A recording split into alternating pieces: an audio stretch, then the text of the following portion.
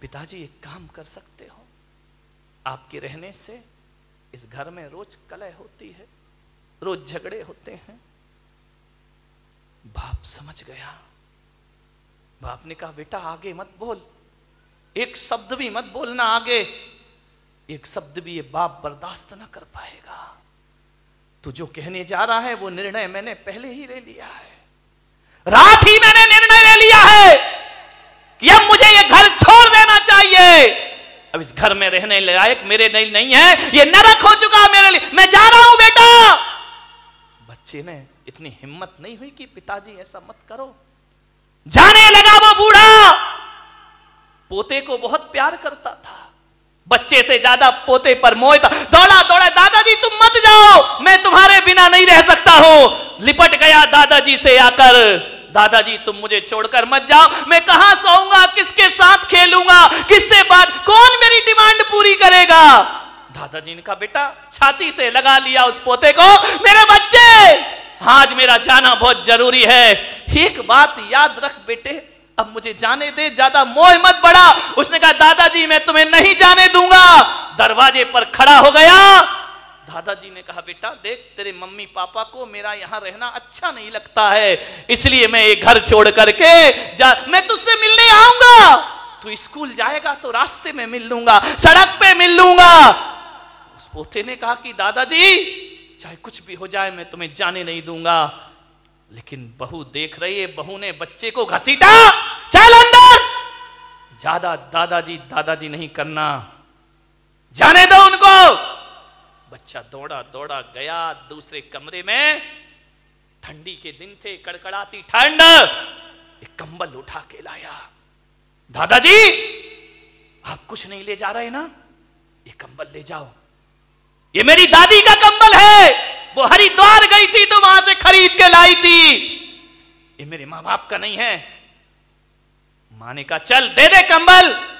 क्या बिगड़ता, इससे अच्छा कंबल ले आएँगे।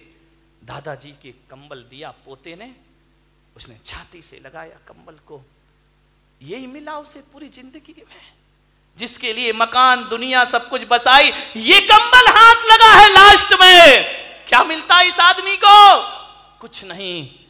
कंबल ले जाने लगा, पोता आया, बोले, ठहरो दादाजी, ऐसे मत जाओ।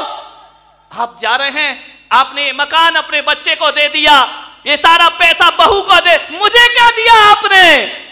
अरे, उसने कहा, तू तो अभी बहुत प्यार कर रहा था बेटा, मेरे पास क्या है? ये माँ बाप तेरे हैं, ये मकान तेरा नहीं, दादाजी, आपसे मैं बहुत प्यार करता हूँ। थोड़ी निशानी मुझे आपकी चाहिए। क्या लेगा बच्चे मेरे से? मेरे पास कुछ नहीं है। कैंची लेकर आया, कंबल को आधा काट दिया।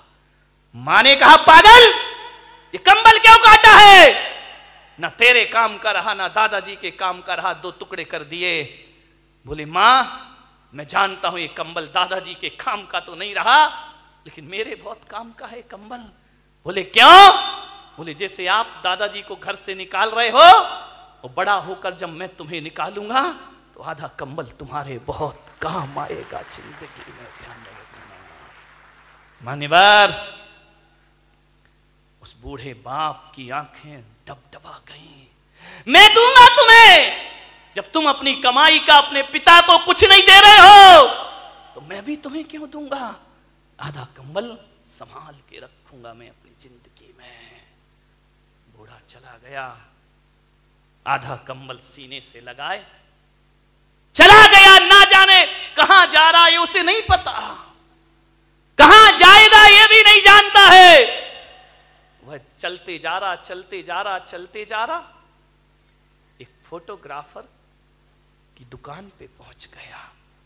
उसने देखा, ना जाने क्या सूझी बुढ़ापे में उसको। कंबल दबाए हुए, सीढ़ियाँ चढ़ गया। फोटोग्राफर से बोला कि, बेटा, मेरी एक फ़ोटो खींच सकता है? उसने कहा, दादाजी को क्या हो गया? फ़ोटो खींच दे।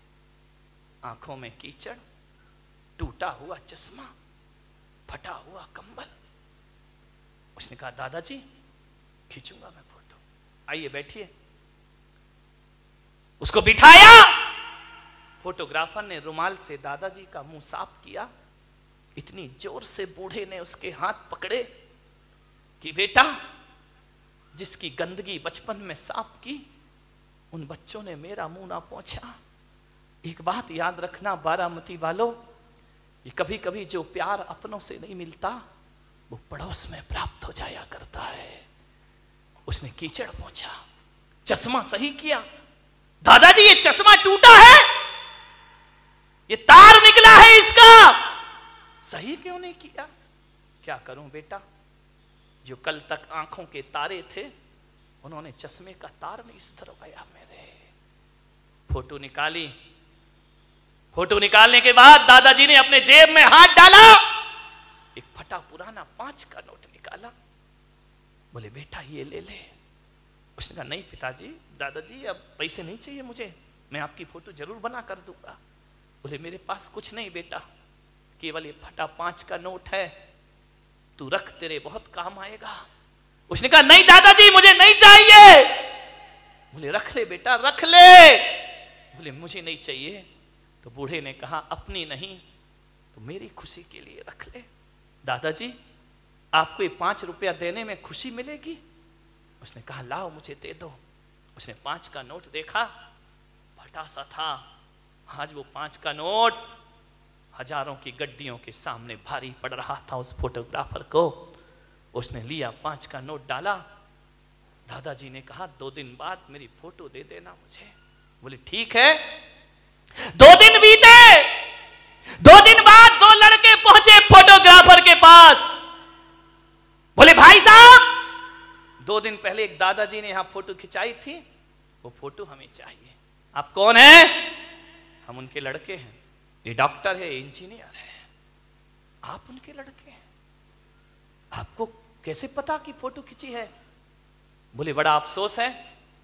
कि जिस दिन तेरे, मेरे पिता तुम्हारे यहाँ से फ़ोटो खिंचा के जा रहे थे, और इन सीढ़ियाँ उतर रहे थे, आगे पहुँचे हैं, और एक जोरदार ट्रक की टक्कर में उनका एक्सीडेंट हुआ और वो दुनिया में नहीं रहे। जब हमें सूचना मिली, हम गए, जब तक प्राण पखेरु उड़ गए, उनके कुर्ते के जेब में तुम्हारी दुकान की रसीद पड़ी थे। बस वही रसीद लेकर हम तुम्हारे यहाँ आए हैं। वो फ़ोटो तो दिखाओ जरा। फ़ोटो दिखाई। अरे, ये फ़ोटो खींची है तुमने? ये फटे से कपड़े, टूटा सा चश्मा, आँखों में कीचड़। बोले, एक काम करो, कंप्यूटर का जमाना है, इसमें एडिट कर दीजिए। अच्छी शेरवानी पहना दो इनको। सोने की चैन डाल दो गले में। एक अच्छी कुर्सी पर इन्हें बिठा दो। इनका चेहरा थोड़ा सा बदल दो। उसने कहा, भाई साहब, बहुत पैसा लगेंगे। बोले, देंगे! पाँच हज़ार रुपए लगेंगे, बोले, देंगे पाँच हज़ार रुपए। ये वो औलाद जिसने जीते जी बाप को पाँच रुपए नहीं दिए, वो पाँच हज़ार की फ़ोटो ले रही है। उस आदमी ने पूछा कि आप इतनी बड़ी फ़ोटो क्यों बनवा रहे हो? बोले, परसों हमें इनका उठावना करना है। इस समाज में हमारी इज़्ज़त का सवाल है, ध्यान रखिए। हम उनकी ऐसी फ़ोटो नहीं लगा सकते हैं। हमारा भी स्टेटस है, हमारा भी स्टैंडर्ड है। सारी समाज हमारे यहाँ आएगी। जितनी सुंदर फ़ोटो बना सको, फ़ोटो बना दीजिए। कल सारे लोग श्रद्धांजलि सभा में उपस्थित होंगे। ये है माँ बाप का सम्मान। फोटोओं पर फूल चढ़ाने वालों, जीते जी तो शब्द प्यार से नहीं बोलते हो। कैसी औलाद है कि जीते जी बाप के लिए नए कपड़े नहीं आते। मर जाए तो नया कफन खरीदने दौड़ते हो, ध्यान रखिए। मेरे भाई, आपसे निवेदन है, लाशों पर फूल मत चढ़ाना, कोई बात नहीं है। जीते जी बाप से फूल जैसी बातें ज़रूर किया करो, तुम्हारा जीवन सार्थक होगा। यह संस्कृति होना चाहिए भारत की। मेरे सानिध्य में मुझे बड़ा दुख है कि मैं संत होकर मुझे एक वृद्धाश्रम बनाना पड़ा, जहाँ बुज़ुर्ग लोग रहा करते हैं। ऐसे ऐसे लोग आते हैं, मेरे पास आँसू बहाते हर एक घर की दुनिया से बाहर निकल के देखो, अपने ही घर को दुनिया मत समझिए। आते हैं मेरे पास, महाराज! ये ज़िंदगी का अंतिम पड़ाव, कुछ व्यवस्था करो। हमारा बेटा हमें घर से, एक बेटा मेरे पास आया, अपनी माँ को लेकर। महाराज, आपका वृद्धाश्रम बना है, आपका वात्सल्य धाम बना है। मेरी माँ को वहाँ रख दीजिए मैंने कहा शर्म आना चाहिए तुझे। एक बेटा कह रहा है कि वृद्धाश्रम में रख दो। मान्यवर, मैंने उससे कहा, तुझे तो चिल्लू भर पानी में डूब के मर जाना चाहिए। जिस माँ ने कोख में रखा, तू घर में नहीं रख सकता है। वापिस लेके जा इस माँ को। बोले, आपने क्यों बनाया वृद्धाश्रम? मैंने कहा, मैंने इसलिए नहीं बनाया कि कोई औलाद अपने बाप को मेरे पास भेजे। नहीं भाई, ये तो मेरे लिए सबसे बड़ा पाप हो जाएगा। और मैं बारामती में कह रहा हूँ, पुलक सागर इस देश से वृद्धाश्रम की परंपरा खत्म होना चाहिए, समाप्त होना चाहिए। एक भी वृद्धाश्रम इस देश में नहीं होना चाहिए। एक भी ओल्ड हाउस इस देश में नहीं होना चाहिए। ये बदनुमा दाग है भारतीय संस्कृति पर। लाल किला शान हो सकता है, कुतुब मीनार शान हो सकती है। ध्यान रखना, ताजमहल शान हो सकता है देश की, लेकिन वृद्धाश्रम देश की शान नहीं है। ये भारतीय भारतीय संस्कृति पर मारा हुआ, तमाचा हुआ करता है। एक बेटा माँ बाप को वृद्धाश्रम में रखता है। मैंने उसे एक घंटे समझाया, बेटा, माँ को मत निकाल अपने घर से। एक घंटे मैंने उसे समझाइश दी, वो अपनी माँ को वापस ले गया, ध्यान रखिए। मान्यवर, मैं एक भावना रखता हूँ। मेरा और हम जैसे संतों का जीना सार्थक हो जाएगा। जब वृद्धाश्रम रातों रात खाली हो जाएगा मेरे भाई, हर बेटा अपने माँ बाप को अपने घर ले जाए।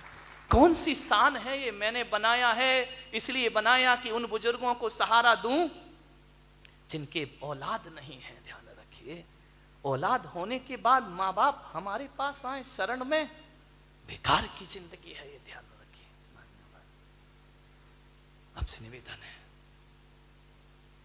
एक बूढ़ी माँ जिसने औलाद को पढ़ाया, लिखाया।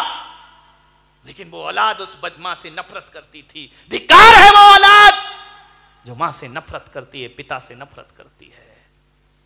यही नफरत थी उसे बस। वो कहता था, माँ, तू मेरे सामने मत आया कर। तू मनहूस है। मैं तेरा चेहरा देखना पसंद नहीं करता हूँ। माँ रो लेती चुपके चुपके पाल पोस के बड़ा किया, पढ़ाया, लिखाया। औलाद कह रही, हम तेरा चेहरा देखना नहीं चाहते। तू हमारे सामने मत आया कर। माँ आती, माँ की ममता थी, बिचारी क्या करे? स्कूल जाती, टिफ़िन देने जाती, बच्चे का भोजन देने जाती। बच्चे से कोई पूछता कि ये बुढ़िया कौन है?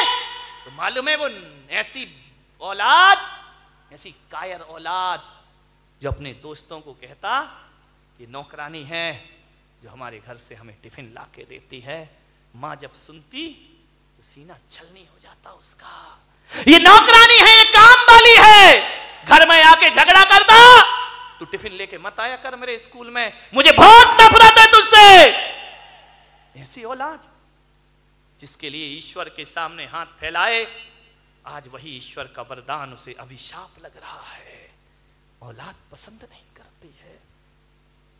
एक बात ध्यान रखना, माँ कैसी भी हो, माँ तो माँ होती है मेरे भाई। माँ काली हो, माँ गोरी हो, माँ बदसूरत हो। एक बात ध्यान रखना, माँ की सूरत नहीं देखी जाती, माँ का दिल देखा जाता है मेरे भाई दुनिया में। इसलिए नफरत थी उसे कि उस माँ की एक आँख नहीं थी। तू कानी है, मेरे सामने मत आया कर। माँ रो लेती चुपके चुपके।